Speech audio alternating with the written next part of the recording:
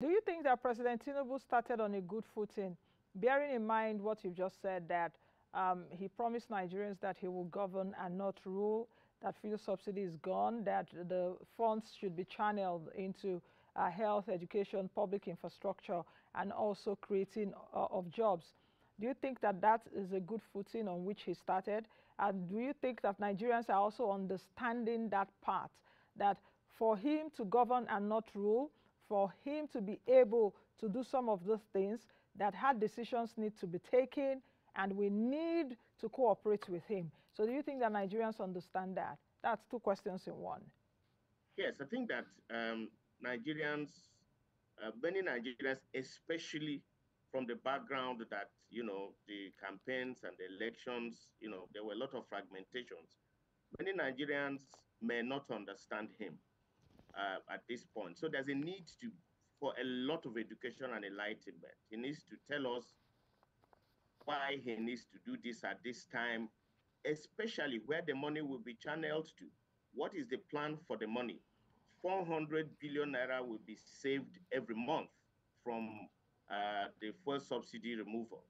Where will he plot the money? That is very critical because we don't want to move away. I mean, you remember that the first subsidy regime was bedeviled with all kinds of accusations of corruption. So we, want, we don't want to leave frying pan to fire. It is important for the president to articulate what he wants to do with the first subsidy savings. I mean, savings from the first subsidy. 400 billion is a lot of money. Another thing that is important is that the president and his team would have preempted that such removal will, you know, lead to, of course, deregulation, which means that the market will dictate the price. Although there are people who think that how can NNPC be fixing the price when we are talking about deregulation? Complete deregulation means let the market fix the price. So NNPC Limited has no business fixing the price. That is another discussion. Now that we are seeing 530, what it means is that there will be hyperinflation and there will be implications on the poorest of the poor. And whenever anything affects prices, affects food, people who are already agitated, people who are already frustrated, get very frustrated and even become violent.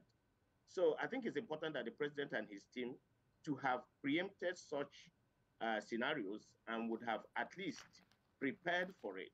Everybody you go to now that are complaining, and regardless of the good intentions, you know, on the savings and the promises of quantum infrastructure, education, and everything, people need to know that there needs to be food on their table and the hyperinflation, there must be remedial action, um, you know, for this implication because ordinary people are going to be impacted negatively, at least in the short term.